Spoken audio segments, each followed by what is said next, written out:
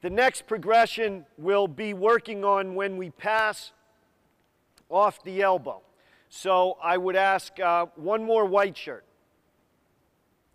And the three white shirts will guard the three blues on the baseline. And we are going to start with a pass off the elbow. So we are working on these two guys that will walk through at once. As Chris passes the ball to Josh, they must screen Chad's man in that staggered screen. And now, again, we can allow that pass, but we are going to run this drill until someone that is not guarded runs a flex cut. So let's start it one more time. The three guys on the baseline are guarded. And we are not going to pass the ball now until we get an open man. Good skip pass. He's going back door. You can throw it there if you want.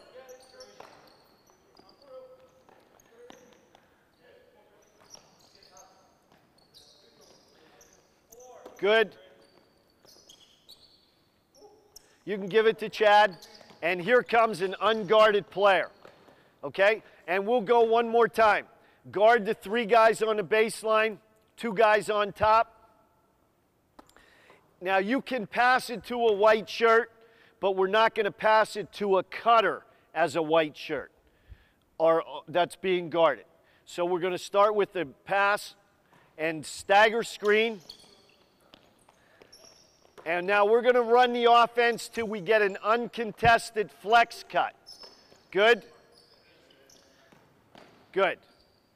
So what we've done is we've gone five on two and now five on three, where in five on three we're emphasizing our stagger screen because we found that when we make this pass that these guys have to make sure that they get a piece of that defender so that we can either now enter it inside or immediately get into our flex continuity. And it also works, come on up Mike, make that pass. It also works on these guys reading as to who actually is open. Like in that case, Chris was open, unguarded. So it's a controlled five on three. So we've looked at pull through, back door, five on two, and also five on three. We are also going to finally look at one more breakdown drill, which is our cutter drill. So let's go three on three. And uh, Kojak, why don't you come up? So we got a cutter and a screener and a passer on the box ready to come up. White shirts on D. So we are going to allow that pass, and we are saying to the defense, no switch, but we are trying to get a flex cut. So we're going to try it live one time. So coach is going to pass, and now we're reading. Good. And there's our flex cut. And if we can come back and walk through that one time. Josh is, as the ball goes to Ian, he is going to either set his man up high and go under, which he actually did and scored, or as that pass comes to Ian, he is going to set his man low and come off high. And so we will do that one more time.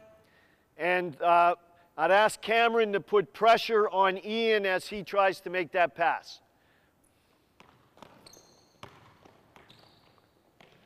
And again, we would put our guys in a situation where we would say no switch and then switch and then obviously we would take it to the other side. In this instance, the cutter is having to come off and probably use his left hand as he comes to the rim, whereas if he's coming out of the left corner, he would be coming into the lane using his right hand. So all of these breakdown drills get us into the setting that they will find in the offense.